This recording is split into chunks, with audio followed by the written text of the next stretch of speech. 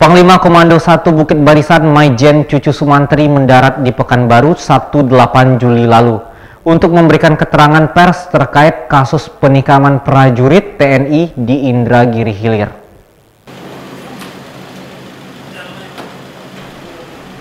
Ditemui saat menggelar jumpa pers di VIP Lancang Kuning Bandara Sultan Syarif Kasim II Pekanbaru, Pangdam 1 Bukit Barisan menyatakan keprihatinannya atas kejadian yang menimpa Serda Musa ini.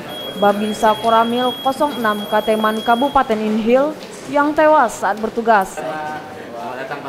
Didampingi dan Rem 031 Wirabima, Maijen Cucu Sumantri menegaskan akan mengerahkan jajaran TNI untuk menertibkan geng motor yang telah menyebabkan anggotanya tewas saat bertugas. Kejadian bermula ketika Serda Musaini melerai keributan antara Kopka Chandra dan pelaku berinisial TA yang mengganggu ketertiban karena berperilaku ugal-ugalan dengan menggunakan sepeda motor. Pelaku yang tidak terima dengan tindakan Serda Musaini yang meredam keributan malah balik menentang Serda Musaini hingga terjadilah kejadian penikaman tersebut. Musa ini sempat dibawa ke RSUD Raja Musa Sungai Guntung, namun sayang nyawanya sudah tak tertolong lagi. Yakinkan ya untuk kita semuanya, khususnya saya selaku Pangdam satu Bukit Barisan, karena kemarin ada anggota saya, seorang bintara Babinsa yaitu Serda Musa ini meninggal dunia Eh, sangat mengenaskan karena dia saat melaksanakan tugas membantu masyarakat yang kedukaan yang meninggal dunia pada saat akan pemakaman eh, justru mendapat musibah tersebut.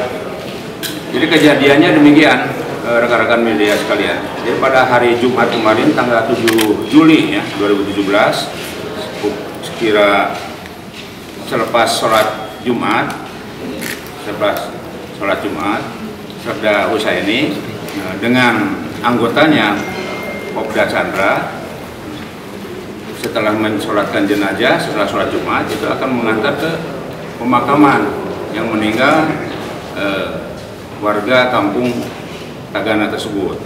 Nah pada saat di perjalanan itu ada sekelompok anak muda yang diperkirakan itu merupakan bagian dari kelompok geng motor ngebut dengan gaya peristiwa itu yang diangkat ke atas sehingga mengganggu e, jalannya prosesi akan menuju ke pemakaman tersebut. Bahkan dia di jarak kira-kira 50 meteran melewati jenazah tersebut. Maijen Cucu Sumantri sangat menyayangkan peristiwa ini bisa terjadi dan untuk proses hukumnya pihak TNI telah menyerahkan sepenuhnya kepada pihak kepolisian untuk ditindak sesuai hukum yang berlaku. Rahmadi, Adrian Pandora, Fakta TV.